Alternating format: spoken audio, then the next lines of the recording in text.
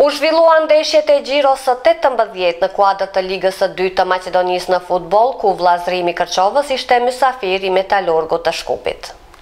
Pas fitores spektakulare në mes të Shkupit, janë fituar pikë të mëdha Zajmiri Kërçovës. Futbollistët e Vllazërimit ia dolën që të mposhtin ekipin e Metalurgut në stadiumin e Fonderisë në Shkup me rezultat një me tre. Në të vërtetë ç'ndodhi?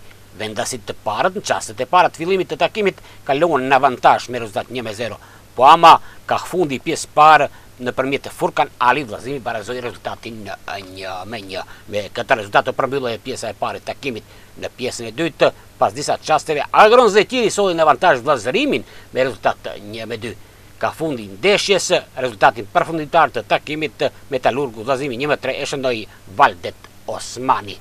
Pas xhiros së tetëmbëdhjetë në krye të tabelës së klasifikimit është Akademia Pandev e cila ka pësuar disfatë sot në duelin e derbit lokal me Horizont Turnovën me rezultat një me tre. Ndërkohë që në duelet tjera, Euromilku e Teteksi luajtën baras zero a zero Tikveshi Novaci zero me dy dhe Vardari i Negotinit e ka mposhtur Skopje me rezultat minimal një me zero.